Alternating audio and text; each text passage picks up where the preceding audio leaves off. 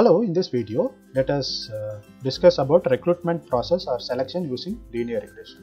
That is how a new person can be appointed uh, in a team or an organization. Straight away, we can go for an example. Let us assume a player need to join a team, that is a cricket team.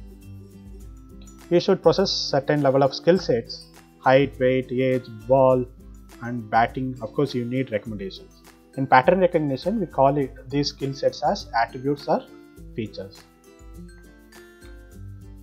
Out of all the features, let us assume uh, consider only two features that is uh, namely bat and ball. So every player has been rated out of 10. That is a player 1 has a skill set of 8 and 1 with respect to bat and ball. Uh, if bat be the x-axis in this graph and ball be the y-axis, so every uh, player has been you know, plotted in this graph.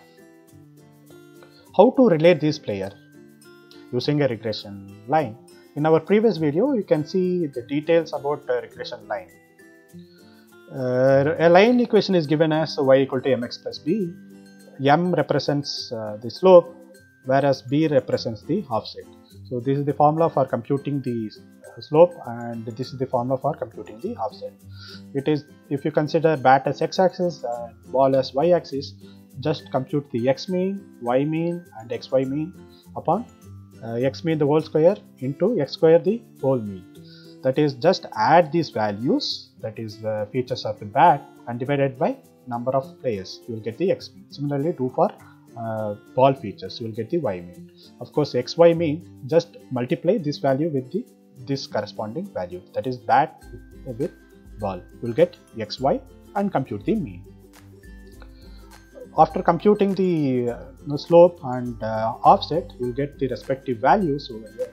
So we here we have the line equation just substitute slope and uh, offset in this equation you will get the corresponding uh, line equation for these features. Now let us retain the x values as such and start substitu substituting that is uh, retain the features the bat over here.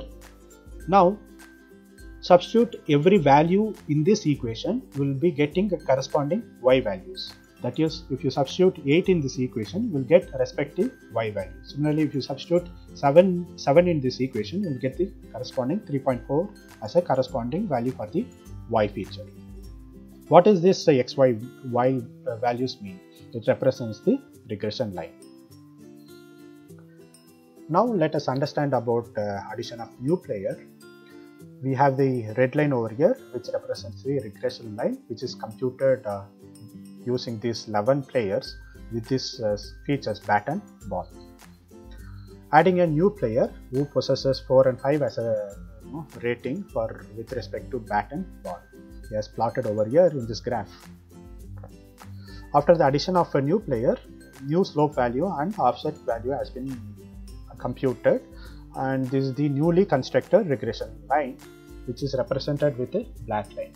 If this line is uh, below the red line that uh, refers there is a degradation in the performance. If this black line is the is above the red line that represents addition of a new player is produces good performance.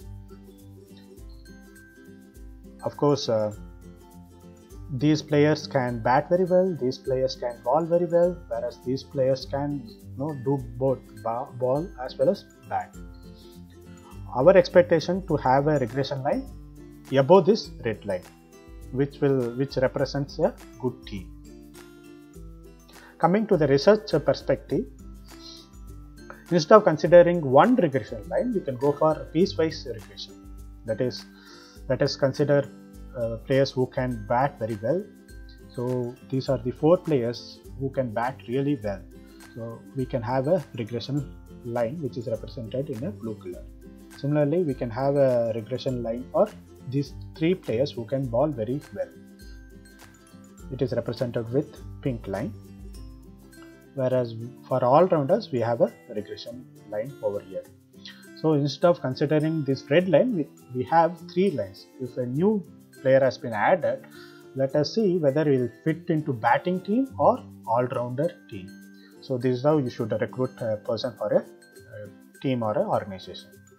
If you see the application of this uh, piecewise regression, it, it is uh, widely considered for uh, recruiting person in an organization, private or government.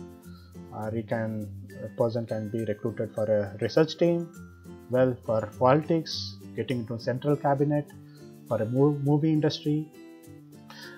Here we have just considered two features, namely bat and ball. If all the features are to be considered, well, it is a research uh, aspect. Of course, we have limited with uh, 11 plus 1 player. Similarly, if we want to recruit maybe 10,000 plus members into an organization, organization, how can we do that? So that are uh, those are the research aspect of this uh, video.